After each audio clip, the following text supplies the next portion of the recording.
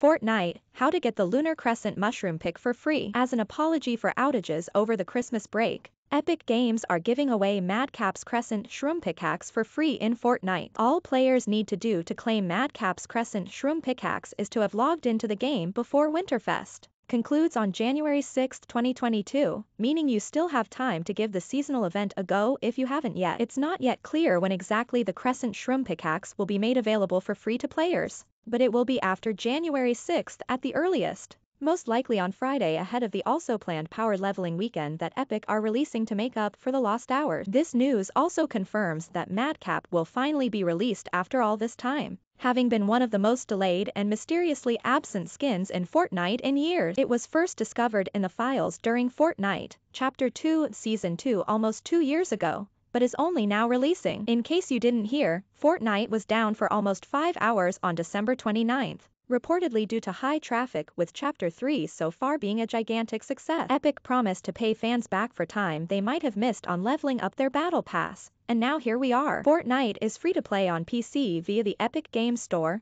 PlayStation 5, PlayStation 4, Xbox Series XS. Xbox One, Nintendo Switch, and Android. More Fortnite. Do you need Xbox Live Gold to play Fortnite? Some of the coverage you find on Cultured Vultures contains affiliate links which provide us with small commissions based on purchases made from visiting our site. We cover gaming news, movie reviews, wrestling, and much more.